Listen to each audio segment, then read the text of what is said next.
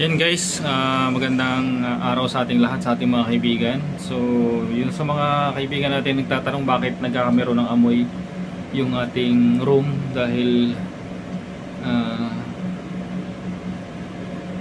s- sa ating ano no, nanggagaling din sa ating kung sinasabi nila. Pero sa totoo lang guys, yung mga amoy na nasa masama sa ating kwarto, naiipon at nahihigop nitong ating aircon kung meron man tayong aircon ano, kahit anong aircon guys.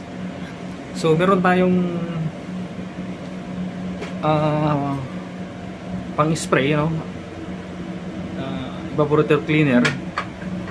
Kung malinis pa naman yung ating aircon or kahit madumi na kung sakaling nangangamoy dahil nga taglamig or hindi masyado natin nagagamit meron tayong katulad nito guys oh, yung ah, evaporator air conditioning cleaner ito antibacterial na rin to guys maraming klase ng brand nito ito disinfectant and air conditioner cleaner yan ang evaporator ang gagawin lang natin guys i-spray linisin natin yung filter tapos i-spray natin ito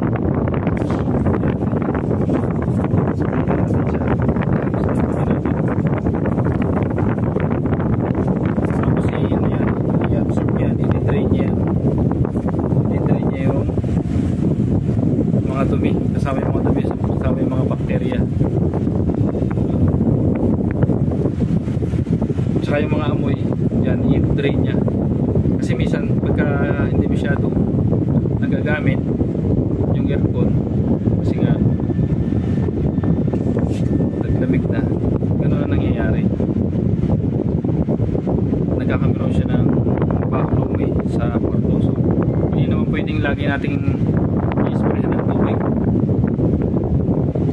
yung ating unit. O kaya, hindi naman lagi nating papalinis kasi mahal din ang bayad sa palinis.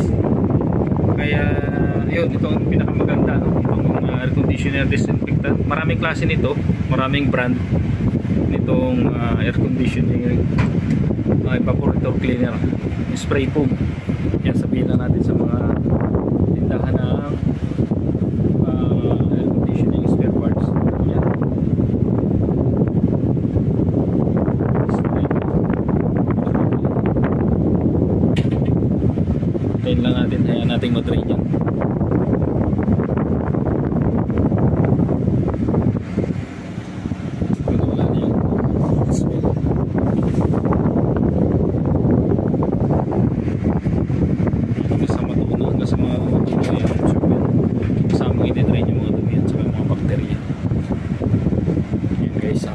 ko sa inyo itong video na to.